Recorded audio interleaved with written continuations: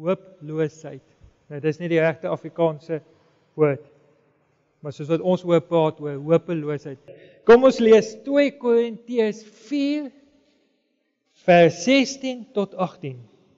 En Paulus wat hier skryf, dan sê hy: "Daarom gee ons nie moed op nie." Dis baie belangrik wat hy sê. Daarom gee ons nie moed op nie. Want selfs al vergaan ons uiterlike mens, word ons innerlike mens van dag tot dag vernuwe.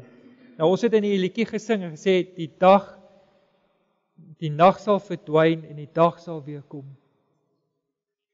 Hy sê daarom sal ons uiterlike mens vergaan, maar ons innerlike mens sal van dag tot dag vernuwe. Dan vers 17. Want ons ligte en tydelike verdrukking bewerk vir ons 'n gewigtige en al alles oortreffende ewige heerlikheid. Terwyl ons nie let op die sigbare nie, maar op die onsigbare dinge, want die sigbare is duidelik, die onsigbare ewig. Nou het jy al agtergekom as jy nou ehm um, blokkies raaisels invul of jy doen nou take vir jou kind met Afrikaans en Engels dat die woordeboeke wat ons baie keer mee te doen het hulle dit baie keer woorde byvoeg in in in die woordeboeke.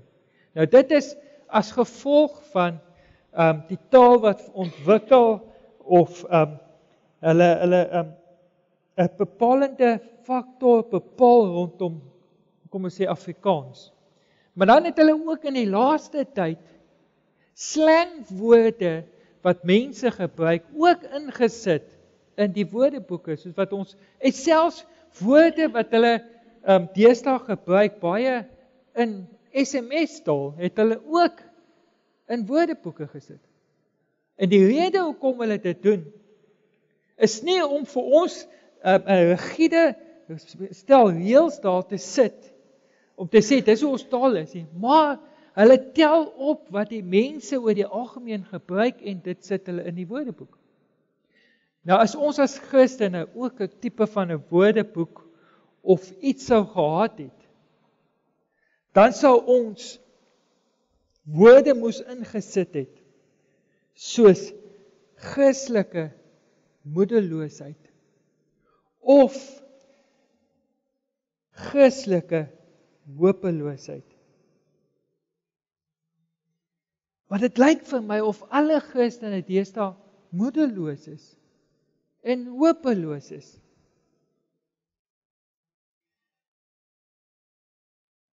As 'n mens hoor hoe Christene praat, dan sluit dit my ook selfs in. oor die land, oor die toekoms van die wêreld, dan plaas dit baie keer onsself op moedelose vlakte. Jy al daai ene gehoor, daai idiom. En jy moet net 'n sekere oom se naam noem met die naam van Z nie. Dan gaan daar die hele gesprek in 'n hele debat in. Of as as of, of as as mense praat oor Eskom dan dan dan dan dan is dit so of of die mense se gemoede styg. Een prediker vir eendag vir sy vriende se kinders. Wat doen julle as die krag afgaan? Die kinders sê vir hom: "Nee, 'n mamma haal so stofie uit wat jy in die gang moet kry met gas en dan as dit aan die gang is, dan maak hy vir ons pannekoek." En hy sê vir hulle: "Maar okay, wat doen jy? Wat doen pappa?" En hulle sê: "Nee, pappa is net um, ongelukkig." Maar die Here wil nie hê dat ons op die um, ons op hierdie pad moet wees nie. Ja, al twyfel ons almal. Al is ons almal moedeloos. Kom die Nuwe Testament en hy en hy sê vir ons, hy gee vir ons 'n lisensie om nie daar te bly nie. Paulus kom en dan Nou verduidelik hy dit in hierdie drie verse wat ons gelees het en hy en hy verduidelik, hy gee vir ons 'n diep geheim rondom hierdie hele saak. En ek dink hy verduidelik om vir ons te sê hoekom ons nie moedeloos moet word nie. Hy begin om te sê moenie moedeloos word nie. Moenie moedeloos wees nie. En ek dink hy's as daar een ou is en uh, uh, ek dink in almal van ons wat hierso in hier vertrek is, is daar een ou is wat moedeloos kon geword het. Wat kon gesê het, "Wait, let's quote it." Is dit Paulus? Want hy kom en hy skryf en dan sê hy ek was 5 keer 39 houe deur die Jode gegee. 3 keer gesee gesel die by die Romeine. Een keer um gestenig en vir dood agtergelaat. Baie keer skipbreek gelei. Baie keer vervolg. Baie keer um het mense hom net sleg behandel. Hy was 'n padkaart wat aangedui het hoe hy die evangelie verkondig het. So hy het rede gehad om te kla. Maar dan kom skryf hy in 2 Korintiërs vers 16. Om hierdie rede word ek nie moedeloos nie. Om hierdie rede. Nou die Grieks wat daar geskryf word is hy sê om hierdie rede is ek nooit in 'n slegte by nie. Dis wat die Grieks daar beteken. Of ehm um, hierdie rede is ek nooit op die planke geslaan nie. Of is ek nooit bitter en negatief teenoor die lewe nie. Paulus het nie toegelaat dat die lewe hom geleef het nie. Ek wil dit weer vir jou sê. Ek het dit nogals onderstreep toe ek dit neergeskryf. Paulus het nie toegelaat dat die lewe hom leef nie. Hy het nie toegelaat dat sy omstandighede die norm word waarmee hy leef nie.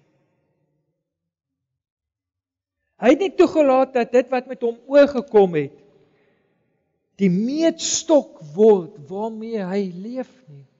Vir baie van ons doen dit nie. Ons meet ons lewens aan ons omstandighede en dit wat met ons gebeur.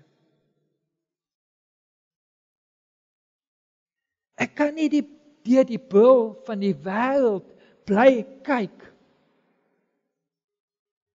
En en en en daarvolgens my lewe wil inrig nie. Wat jy sien, ons leef in 'n samelewing waar die standaarde val. En ek het nie die lisensie, die Bybel gee nie die vir my die lisensie om nou ook my standaarde te laat val. En as almal kla en almal is negatief en die opskrifte teen die palle van die koerante is net negatief, dat ek ook negatief moet wees nie.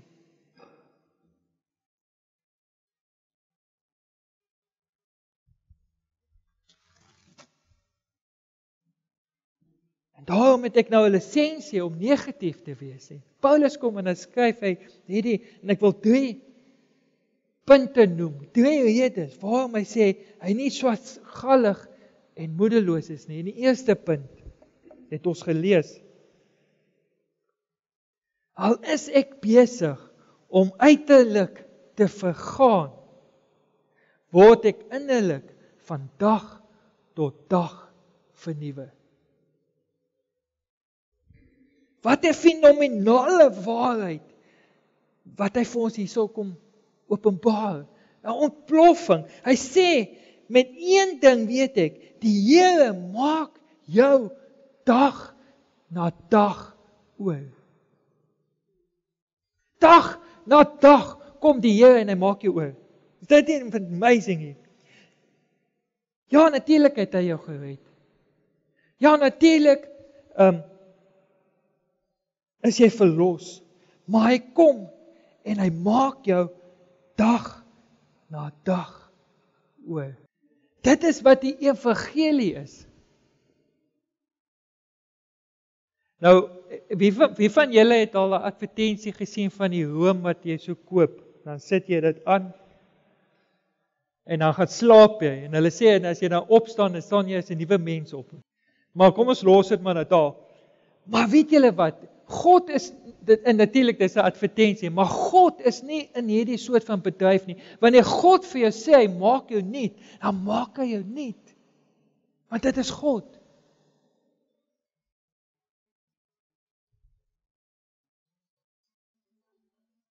En Paulus kom en dan doen hy juis hierdie moeite om te sê al vergaan ek uiterlik.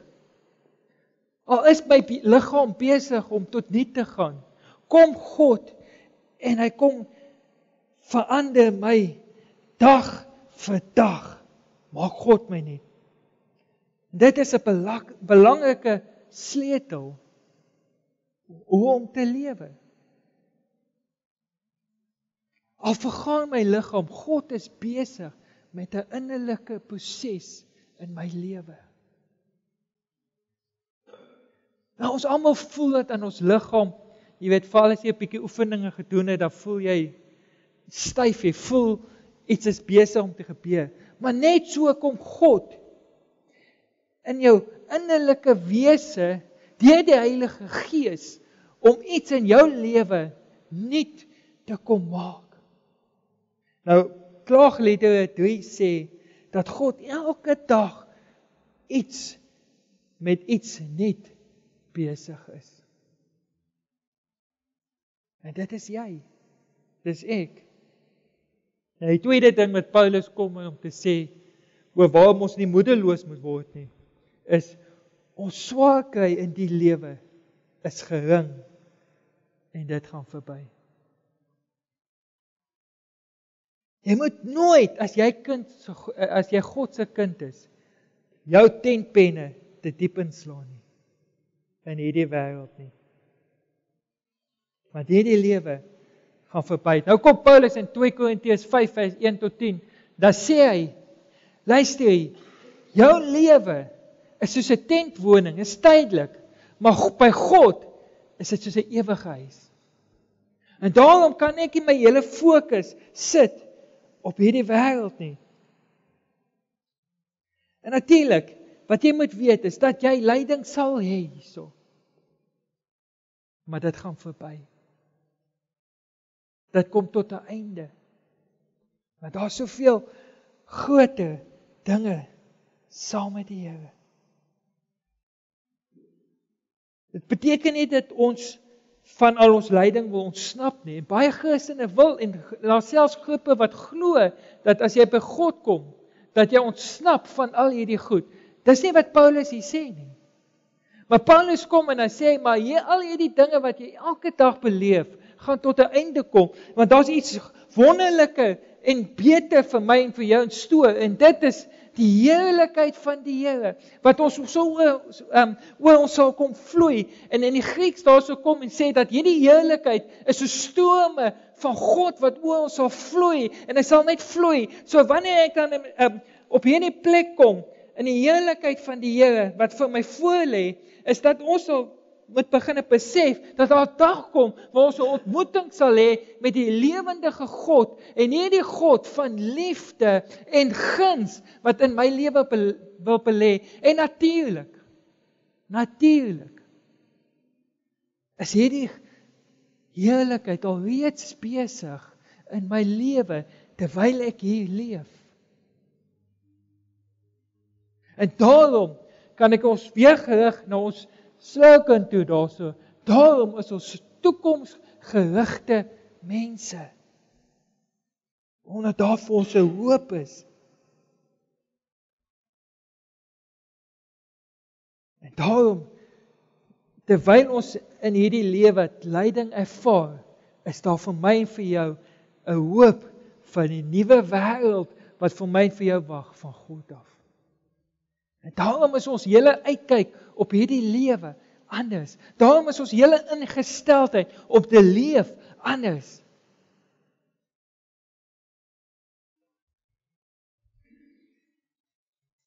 Byt net vas. Hou vas. Want dit is wat vir, vir my en vir jou daar voorwag. En nou kom hy en daarom kom hy in in in die derde een en die laaste een wat ek vir jou wil noem. En dit is Ons oog is nie op die sigbare gefokus nie, maar op die onsigbare. Ons oog is herfokus. Nou Openbaring 3 kom en dan skryf um, Johannes aan die um, gemeente van Laodicea en dan sê in Openbaring 3 vers 20 ek staan by die deur en ek klop en hy wat oopmaak sal ek inkom. Maar net voor dit ons lees nie altyd daai teksversie kom hy en dan sê hy kom koop van my oogsalf sodat jy kan sien. Nou Laodicea was jy's 'n plek gewees waar jy oogsalf kon gekoop het vir jou oë en die mense het gereeld daar gestop om oogsalf te koop sodat die probleme wat hulle vir hulle oë het kan genees word. En nou kom Paulus en dan sê hy, maar hoorie ons oog is nie op die sigbare nie maar op die onsigbare. Met ander woorde wat hy sê is ek is gefokus op Jesus Christus wat die onsigbare is.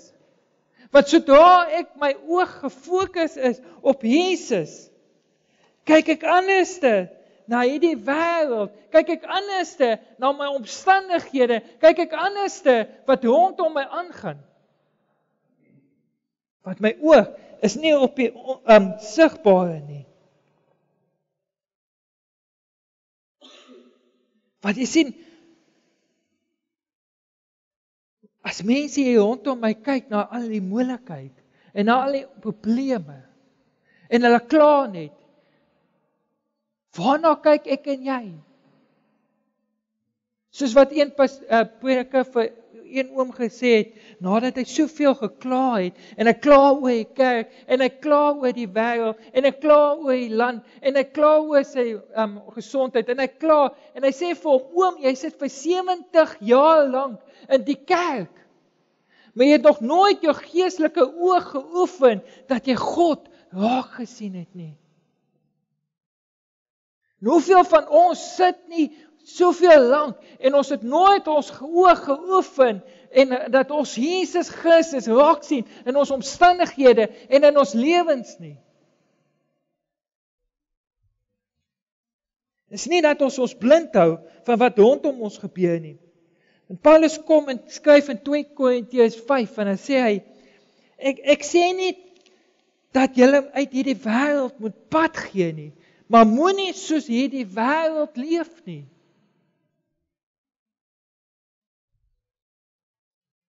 Paulus is nie naïef nie. Ek wil hy weet wat dit is om te ly, om so geslaan te word, om doodgegooi te wil word en hy weet waarvan hy praat. Maar hy het nog steeds in hierdie lewe die evangelie kom verkondig. Hy het nog steeds kom leer in hierdie lewe te leer leef. Hoekom? Want sy oog was nie op die sigbare nie, maar op die onsigbare. En die ding is, wanneer laas het jy vir Jesus raak gesien in die alledaagse lewe? Wanneer iemand sy skoene uittrek en vir 'n ou mens gee. Wanneer iemand gaan hospitaal besoek doen omdat daai die persoon in die hospitaal nie familie het nie. Of iemand tronk toe gaan en daar vir mense in die tong te gaan besoek of 'n broodjie op straat te gee of water. Jesus sê as julle dit aan die geringstes doen, dan doen julle dit aan my. Ek wil jou vanmôre uitnooi. Miskien voel jy moedeloos. Miskien voel jy hopeloos. Of jy twyfel. Ons almal is daar. Maar ek wil jou vanmôre uitnooi dat ons dit wat Paulus met ons praat deel sal maak van ons lewens. Dat ons 'n toekoms het. En dat ons oë gefokus moet wees op Jesus, want dit wat sigbaar is, wat tydelik is, verbygaan omdat ons op die onsigbare onsself ingestel het. Ek wil jou nooi vanmôre ons 'n gebed gaan doen. En dat jy vanmôre sê, ja, ek is een van hulle en ek is eerlik, ek is een van hulle want ek is bekommerd geweest. Ek was diep bekommerd. Maar dat ons net ons weer sal fokus en dat ons net weer op 'n plek sal kom en sê, Here, maak nie saak wat gebeur rondom ons nie. Ons weet waarna toe ons gaan. Ons weet van die heiligheid van God wat oor ons lewens gespoel word. Here, ons kom ver oggend. En ons kom bely, Here, dat ons ook so gefokus was op moedeloosheid, hopeloosheid. En dat ons getwyfel het, Here, dat ons nie weet waartoe om te gaan nie. Maar Here, vir oggend kom hierdie boodskap so duidelik deur in ons harte. Moenie moedeloos word nie. Want ek, die Here is met jou. Nee, omdat ons weet dat U aan ons kant is, weet ons Here dat daar vir ons 'n toekoms is. Weet ons Here dat U liefde, U genade ons oorspoel en dat die heerlikheid van God nou al reeds in hierdie wêreld in ons lewens werksaam is. En daarom bid ek vir elkeen van ons. Here dat ons ons oë gefokus sal hou op Jesus Christus. En ek dank U daarvoor. Amen.